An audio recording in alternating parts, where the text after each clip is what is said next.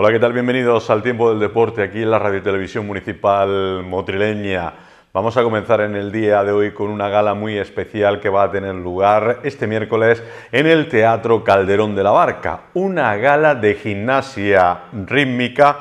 que como viene siendo costumbre tiene un claro carácter solidario al destinar los ingresos a la Asociación Virgen de la Cabeza y al Comedor Social de Jesús Abandonado. Una gala que ha sido presentada en un acto que ha tenido lugar en el pabellón de los deportes contando con la presencia de la alcaldesa de Motril Luisa García Chamorro, el concejal de deportes Daniel Ortega así como María Palomares, organizadora del evento, y Jesús Vázquez de Jesús Abandonado. Luisa García Chamorro ha destacado el claro carácter solidario que tiene este evento que ya tiene todas las entradas vendidas, pero con la que se podrá seguir colaborando y de esa forma ayudar a Jesús Abandonado que desempeña un papel fundamental y más en esta fecha. Afortunadamente no, quedan ya entradas, lo cual quiere decir bueno, que Motril nuevamente se vuelca con un evento solidario como este, donde todo lo que se recaude irá destinado a Jesús abandonado, al cual quiero aprovechar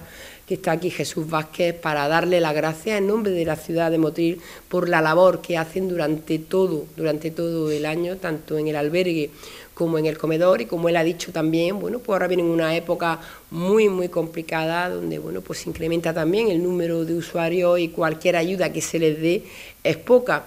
De igual forma ha resaltado que es una gozada ver en acción a más de un centenar de personas y ver las caras de los padres contemplándola. Es una gozada, ¿no? Ver a las niñas disfrutar y bueno, me dicen que este año también, como novedad va a haber un chico también eh, participando en esta gala, ver las caras de los padres, de las madres, de los amigos, de los abuelos, yo que yo quizás sean los abuelos los que más disfrutan viendo a sus nietos haciendo y a su nieta haciendo esa, esa maravilla. Por su parte, Daniel Ortega ha indicado que reunirán a más de 100 gimnastas con una puesta en escena y unas coreografías que son únicas, la mayoría de ellas componentes de la Escuela Deportiva de Motril. Decía una gala que va a reunir aproximadamente a 112 participantes, de las cuales todos son de la escuela y de, aquí, del área de la, escuela del área de deportes, y estarán desde las categorías desde pre-benjamín hasta senior. Decir que esta ya es la octava gala, es decir, no hay ninguna entrada, otra vez como todos los años, todas las entradas se han vendido, pero sí cabe la posibilidad de, como todo lo que se recaude de la gala, con un donativo de 3 euros será para Jesús Abandonado, hay una posibilidad de que todo el que quiera colaborar con esta gala, pues con el aporte de 3 euros, pues pueda colaborar, pero no hay asientos, eso sí.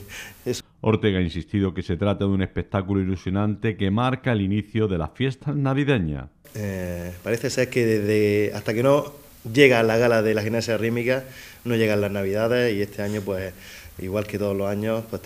cogemos esta, esta gala con máximo cariño. El día 21, a partir de las 7,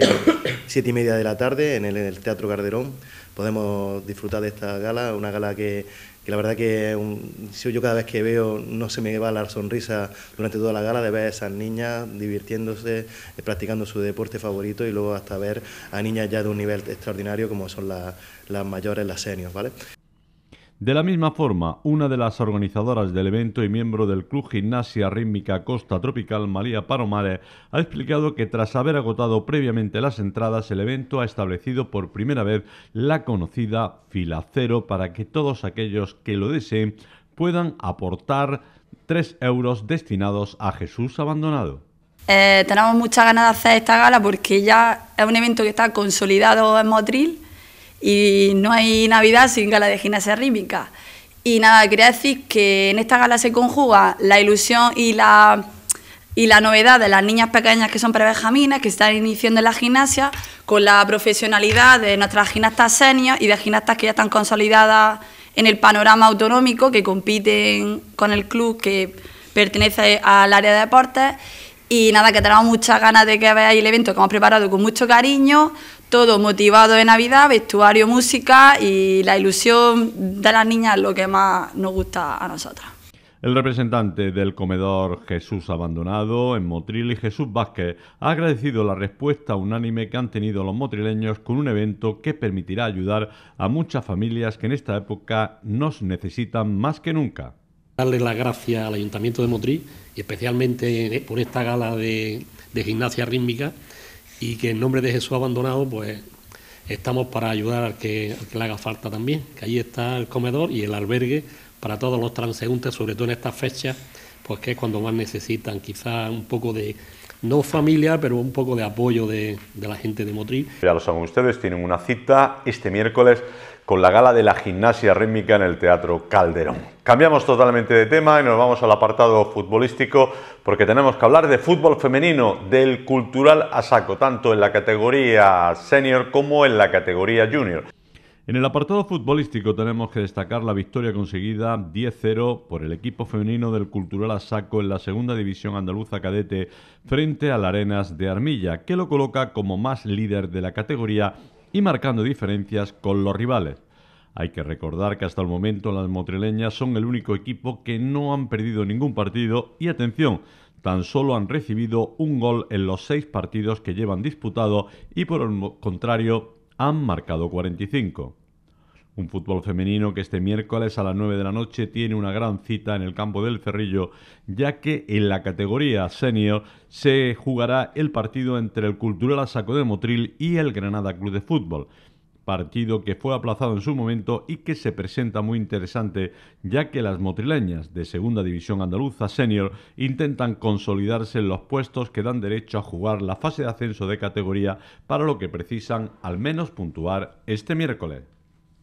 Y si antes hablábamos de solidaridad, vamos a seguir haciéndolo con otra actividad deportiva que se celebró el pasado fin de semana y que tenía un claro carácter solidario ya que los beneficios van destinados concretamente a la cabalgata de los Reyes Magos, a comprar caramelos para que sean tirados por sus majestades en su paso por Motril. La pareja formada por Mario Hidalgo y Adrián Molina han conseguido imponerse en el decimoquinto torneo de tenis pro cabalgata de Reyes Magos que se ha desarrollado este pasado fin de semana y que ha estado organizado por el club de tenis Saki Bolea de Motril una final muy igualada en la que consiguieron imponerse la pareja formada por Mario Hidalgo y Adrián Molina a la formada por Antonio Rubiño y Emilio García Costilla.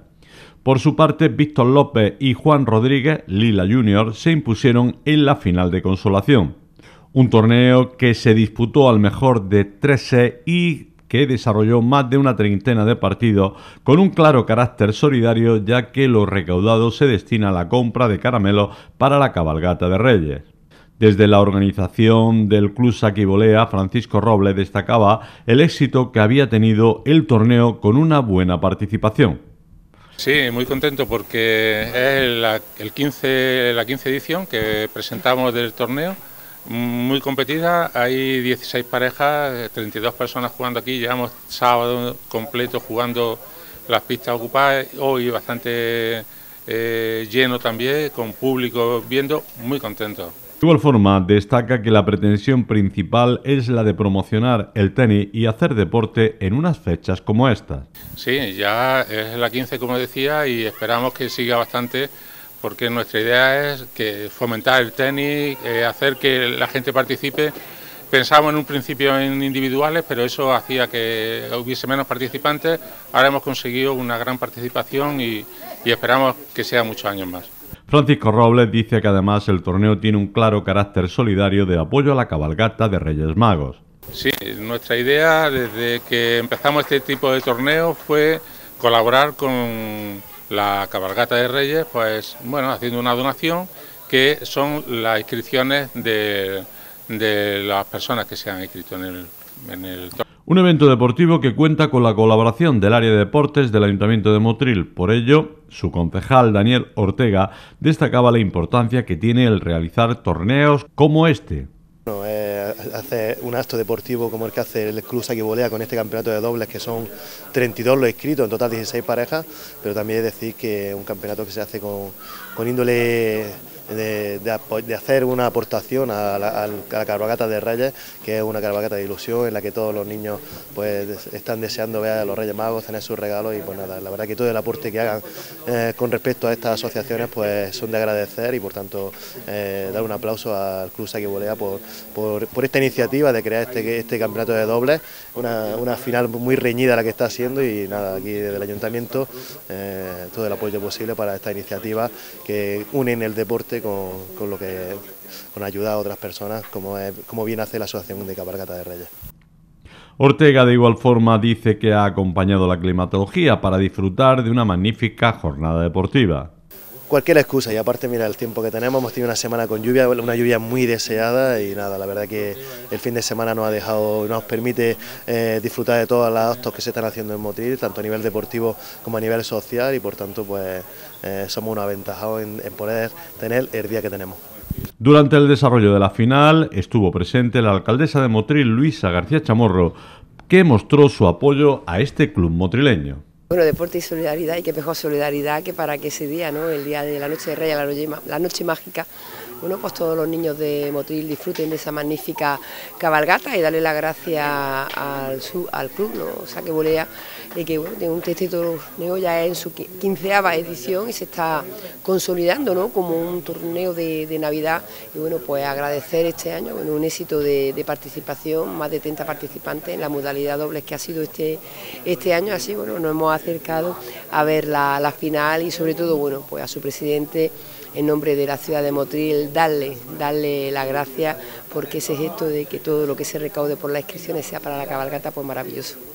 Ayer ya lo apuntábamos, pero se nos quedaban ahí pendientes esas imágenes que no pudimos ofrecerle. La victoria de el CF Motril en el campo del Huetor Tájar por el resultado de 2 a 3. Dos goles de Tony García y uno de Iker Burgo sirvieron para que el Motril saliese de la zona de descenso en la que se encontraba. Además, en un magnífico partido realizado por los jugadores de Borja Barderas.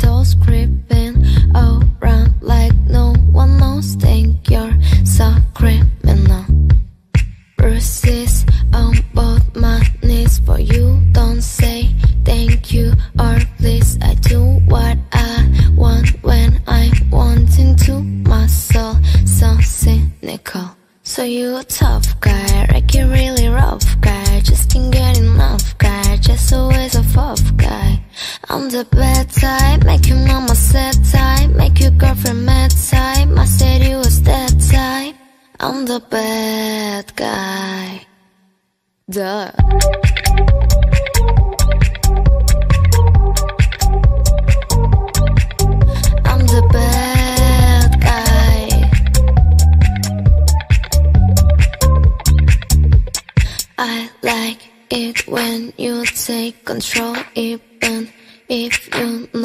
Pues esperemos que el Motril siga con esa marcha y siga demostrando que lo del partido frente al huracán de Melilla fue una mera casualidad y las cosas del fútbol. Nosotros volveremos mañana, una vez terminado el diario comarcal, con más actualidad de ámbito deportivo. Les esperamos. Hasta luego.